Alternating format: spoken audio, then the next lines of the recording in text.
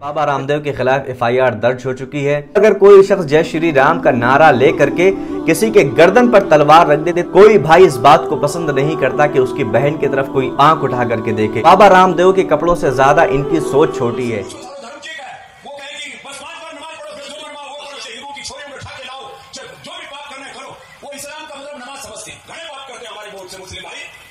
लेकिन नमाज़ ज़रूर पढ़ा मेरे बेटा। क्योंकि वो यही सिखाएगा, बस नमाज़ पढ़ो। जो करना है करो। आतंकवादी बन गए बने बाकी और जितने भी अपराधी बने बन गए, नमाज़ ज़रूर पढ़नी बस इतना जगह नमाज़ पढ़ो जो बनवाओ वो। असलकम वरहमतुल्लाहि ताला वबरकातुहू। सोशल मीडिया पर वायरल होने वाली बाबा रामदेव की इस वीडियो को शायद आपने देखा होगा।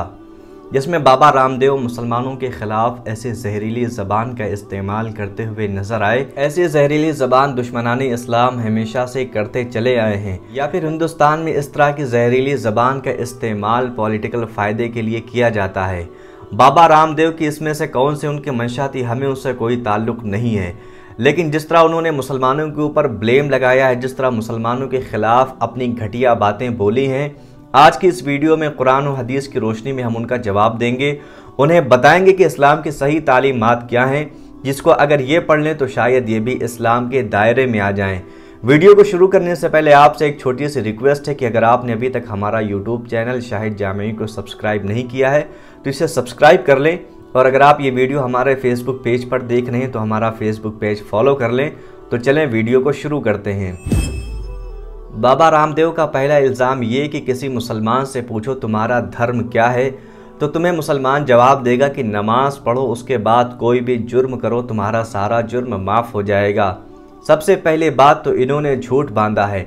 ये इस बात को साबित करें कौन सा मुसलमान इस तरह का जवाब देता है। नमाज़ पढ़ना दीन इस्लाम का एक बहुत बड़ा हिस्सा है। इस बात से कोई इनकार नहीं है। लेकिन नमाज़ को पढ़ा क्यों जाता है, इसको खुद कुरान ने बयान किया है। जहाँ पर उसकी बहुत सारी वजह वजहें वहाँ पर एक वजह यह भी है इन सलात तनहा अनिल फहशा वल मुनकर क्योंकि नमाज़ ऐसी चीज़ है जो इंसान को, जो मुसलमान को बेहयाई और बुरी बातों से रोकती है। लिहाजा जब कोई मुसलमान नमाज़ अदा करता है, नमाज़ पढ़ता है तो वो बुरे कामों से रुकता है और बुरे कामों को वो धीरे धीरे छोड़ता चला जाता है। फिर वो इस्लाम के सही ट्रैक पर आ जाता है, जिसमें सिर्फ़ भलाइयाँ ही भलाइयाँ होती हैं। सूफिया फरमाते कि अगर कोई शख्स सारी ज़िंदगी नमाज़ अदा करता रहे और वो सारी ज़िंदगी गुनाह भी करता रहे तो वो जान ले कि उसकी नमाज़ कोई नमाज़ नहीं, क्योंकि नमाज़ तो बुराइयों से रोकती है। और जो कोई नमाजी बुरा काम करता है तो उसे समझ जाना चाहिए कि उसकी नमाज़ कबूल नहीं होती या फिर उसकी नमाज़ सही तौर पर अदा नहीं हो रही है। हदीस पाक में मौजूद है कि नबी करीम सल्लल्लाहु अलैहि वसल्लम की बारगाह में ऐसी औरत का तस्करा किया गया, जो सारा दिन रोज़ा रखती थी। और सारी रात इबादत करती थी। आप सलाम से पूछा गया कि आप इस औरत के बारे में क्या कहते हैं, जो कि सारा दिन रोज़ा रखती है, रात में इबादत करती है, खड़े होकर के नमाज़ अदा करती है, लेकिन पड़ोसियों के साथ उसका अच्छा सलूक नहीं है। नबी मुकरम सल्लल्लाहु अलैहि वसल्लम ने इरशाद फरमाया कि उसकी नमाज़ कोई चीज़ नहीं है, उसकी नमाज़ उसे फ़ायदा नहीं देगी, यहाँ तक कि वो जहन्नमियों में से है। अल्लाह अकबर। तो आप देखें, खुद नबी मुकरम सल्लल्लाहु अलैहि वसल्लम ने इस बात को फरमा दिया कि अगर कोई सारी ज़िंदगी इबादत करता रहे, पूरा दिन अल्लाह के लिए भूखा रहे, पूरी रात अल्लाह के लिए खड़े होकर के नमाज़ पढ़ता रहे, लेकिन अगर उसका सलूक पड़ोसियों के साथ अच्छा नहीं है तो वो जन्नत में नहीं जा सकता, बल्कि वो तो जहन्नम में जाएगा। लिहाजा बाबा रामदेव का पहला इल्ज़ाम जो इन्होंने लगाया कि मुसलमान नमाज़ पढ़ता है और ये कहता है कि उसके सारे जुर्म नमाज़ पढ़ने से माफ़ हो जाते हैं ये सिर्फ़ और सिर्फ़ एक झूठ है, इसका हकीकत से कोई ताल्लुक नहीं है। कोई भी मुसलमान उस वक्त तक जन्नत में नहीं जा सकता, जब तक कि वो नमाज़ पढ़ने के साथ साथ उन तमाम बुरे कामों को ना छोड़ दे, जो बुरे काम अल्लाह ताला ने जिन कामों से मना फरमाया है। बाबा रामदेव ने दूसरा इल्ज़ाम ये लगाया कि मुसलमान नमाज़ पढ़े, उसके बाद वो किसी की बहन बेटी को भगा कर लेकर चला जाए। इस्लाम उसे कोई सज़ा देने के लिए नहीं कहता। अब आइए हम कुरान मजीद पढ़ते जिसमें अल्लाह ताला ने कुरान मजीद में इरशाद फरमाया कुल्लिन यगुद्दुमिन अबसारहिम व यहफज़ु फुरूजहुम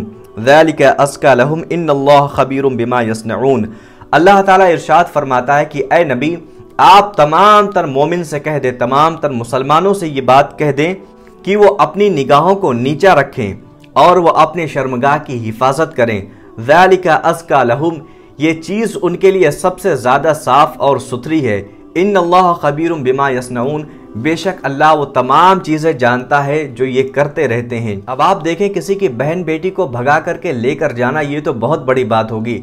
शरीयत इस्लामिया मुसलमान को ये हुक्म देती है कि वो अपनी आँखों को नीचा रखें, वो अपनी शर्मगाह की हिफाजत करें। ना तो वो जिना करें और ना ही वो अपनी आँखों से किसी गैर महरम को देखें। और यही उनके लिए सबसे ज़्यादा पाकिजगी है।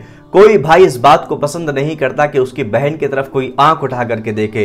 कोई बाप इस बात को पसंद नहीं करता कि उसकी बेटी को कोई आँख उठा करके देखे। और यही इस्लाम की तालीम है कि इस्लाम मर्दों को हुक्म देता है कि वो अपनी आँखों को नीचा रख करके चलें।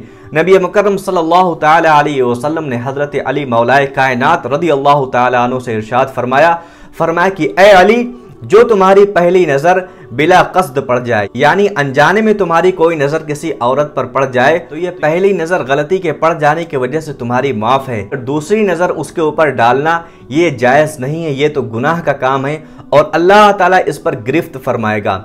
अब आप देखें, शरीयत इस्लामिया कितनी स्ट्रिक्ट है, किसी की आँखों को लेकर के, कि मर्दों को यह हुक्म दिया गया है कि वो किसी औरत की तरफ़ नज़र उठा करके ना देखें, क्योंकि ये उसमें उनकी भलाई है, इसमें दुनिया की फलाह और बहबूद है। यही इस्लाम की तालीम है कि इस्लाम किसी भी फितना फसाद को पसंद नहीं करता है। तो जहाँ पर इस्लाम इतना ज़्यादा सेंसिटिव है कि किसी की बहन बेटी को नज़र उठा करके देखने के लिए मना करता है, वहाँ इस्लाम कैसे इस बात की इजाज़त देगा कि किसी की बहन बेटी को भगा करके लेकर के जाया जाए। और अगर कोई शख्स इस तरह का काम करता है तो ये उसका ज़ाती अमल है। इसकी वजह से मज़हब इस्लाम को टारगेट नहीं किया जाएगा। ये सिर्फ़ और सिर्फ़ इल्ज़ाम है, झूठ है और ढोंग है और बाबा रामदेव के कपड़ों से ज़्यादा इनकी सोच छोटी है। कोई भी मज़हब इस बात की तालीम कभी भी नहीं देगा कि किसी की बहन बेटी को भगा करके लेकर के जाया जाए। आप किसी आम आदमी, जाहिल से जाहिल आदमी से पूछ लें कि कोई मज़हब क्या इस बात की तालीम दे सकता है। एक आम आदमी भी इस बात को बता देगा कि कोई भी मज़हब में इस तरह की बात तो हो ही नहीं सकती और जिस धर्म में इस तरह की बात होगी, फिर वो तो धर्म धर्म ही नहीं कहलाएगा। तीसरा इल्ज़ाम इन्होंने लगाया कि मुसलमान नमाज़ पढ़ता है और नमाज़ पढ़ने के बाद वो किसी का कत्ल करे, आतंक फैलाए, उसका सारा आतंक माफ़ हो जाता है। ये बात भी बिल्कुल गलत है। कुरान मजीद में आइए देखते हैं कि किसी का कत्ल करना, फितना, फसाद मचाना, ये कैसा है। अल्लाह ताला ने कुरान मजीद में इरशाद फरमाया, मन कतल नफसम बगैर नफसिन और फसादिन फिल अर्द कतल नासा जमिया जिस किसी ने किसी जान को कत्ल किया, बगैर किसी जान के बदले में या फिर ज़मीन में कोई फसाद मचाया तो गोया कि उसने पूरी इंसानियत का कत्ल किया। वमन अहिया फ़कान्नासा जमिया, और जिस शख्स ने किसी एक इंसान को बचा लिया, किसी एक इंसान की जान को बचा लिया, उसको मारने से, उसके कत्ल होने से तो गोया कि उस शख्स ने पूरी इंसानियत को बचा लिया, उसकी आने वाली सारी के सारी नस्लों को बचा लिया।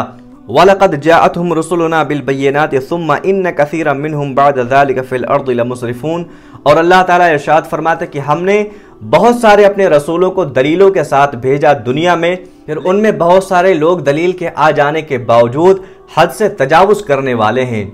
और अल्लाह ताला हद से तजावुज करने वालों को पसंद नहीं फरमाता। अब आप देखें कि कुरान मजीद कितने वाज तौर पर यह बात इरशाद फरमाता है कि एक इंसान का कत्ल करना बगैर बदले के अगर कोई किसी को बदले में कत्ल किया जाता है, फिर तो वो सज़ा के तौर पर होता है, जिस तरह की हमारे और आपके यहाँ भी फांसियाँ दी जाती हैं, ये तो जुर्म के बदले में दी जाती है।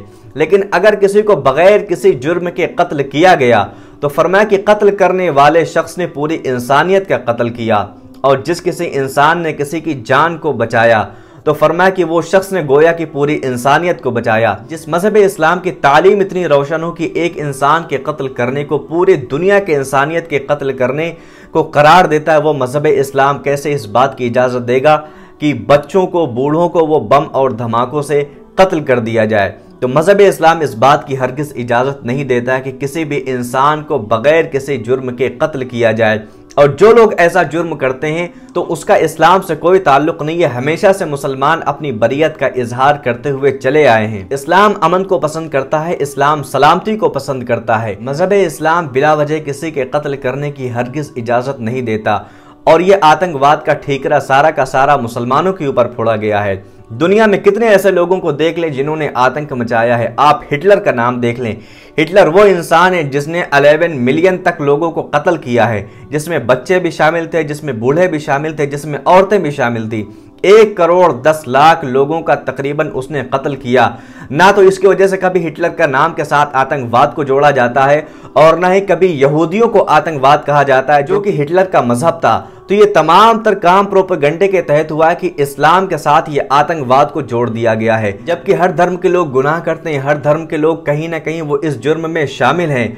लिहाजा मुसलमानों के खिलाफ इस तरह की बातें करना कि मुसलमान आतंकवाद होते हैं, मुसलमान इस तरह के काम करते हैं, उस तरह के काम करते हैं, इसके वजह से इस्लाम को बदनाम नहीं किया जा सकता। और ना ही मज़हब इस्लाम इस बात की तालीम देता है कि कोई शख्स कोई गलत काम करता है तो उसकी वजह से उसके मज़हब को टारगेट किया जाए।